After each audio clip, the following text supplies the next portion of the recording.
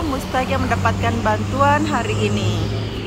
Jadi sebelumnya uh, ibu ini membuat gardu, akan tetapi uh, tidak selesai karena membutuhkan bantuan papan. Nah, uh, karena kebutuhannya papan, Basnas memberikan bantuan papan hingga selesai.